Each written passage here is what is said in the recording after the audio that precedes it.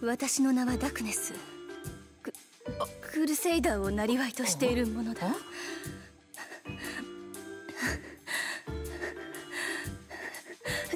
ひ私を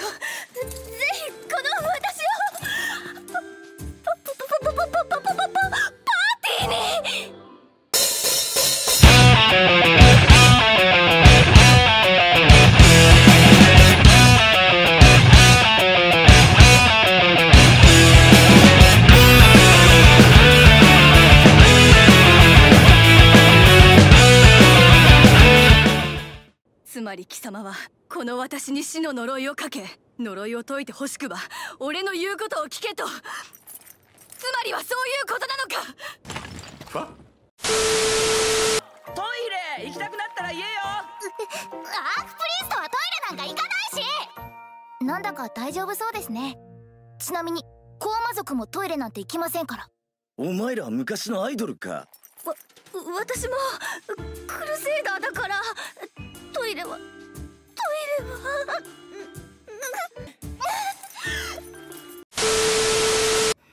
その人どうしたの？あ実は。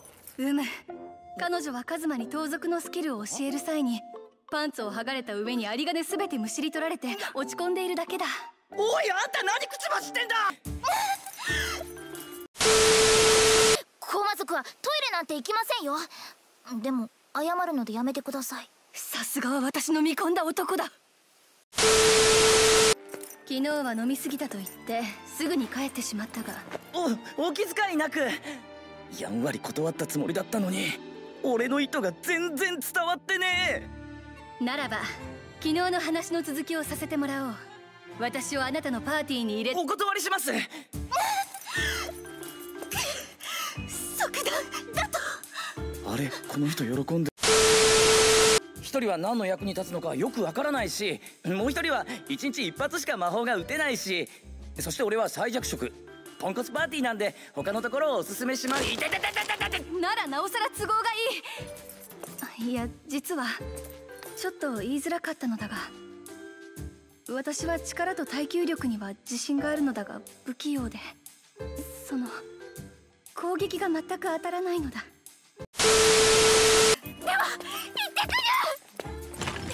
やめろ行くな。デュラハンの人が困ってるだろ離せ。止めてくれるな。気の毒にあのデュラハンのせいできついクエストしかないけど受けましょう。お金が欲しいの。わ私は構わないがてくれ。キャベツの報酬で鎧を直したのだがこんなにピカピカになった。どう思う？なんか成金趣味の貴族のボンボンがつけてる鎧みたい。私だって素直に褒めてもらいたい時もあるのだが。カズマはどんな時でも言うじゃないな。この私の体は好きにできても心まで自由にできるとは思うなよ。城にとらわれ魔王の手先に理不尽な要求をされる女騎士とか。ああどうしよう。どうしようカズマ、はいはい予想外に燃えるシチュエーションだ。鎧が。無理だ。あんただけでも逃げてくれ。バカを言うなダクネスお前。倒れたものを見捨てるなど。できる